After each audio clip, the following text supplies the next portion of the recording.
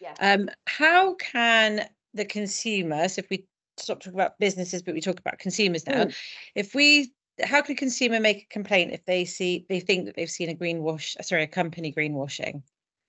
Well, they can go to, you mentioned the ASA, the Advertising Standards Authority, they can go to the ASA directly, uh, as, as many as many people uh, do about all sorts of things, not just about green claims, but you know if they get offended by an ad or anything like that. So there's there's go to the ASA. There's you can go to the Competitions and Markets Authority. They have a, a a link online when you go to their website. You can see make a complaint. They make it really easy for people to to to share their complaints. Um, you can. There's also organizations um, like greenwash.com,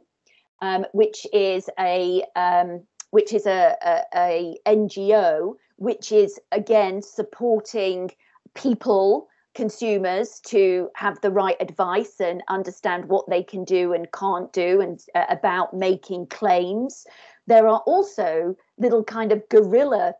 um, accounts and things out there and, and, and kind of activist accounts out there on Instagram and other uh, platforms across social media who are calling out greenwashing and who are encouraging others to also call out greenwashing and kind of giving instruction. So I think there's one called Greenwash My Balls and uh, all sorts of you know there's there's a few of them and these are these are kind of little but we say that but they've got you know thousands and hundreds of thousands of followers that that are that are kind of supporting people in in actually saying well if you're not happy about it do something about it. So so there is the wisdom or the impact of the crowd that is also being so there are these formal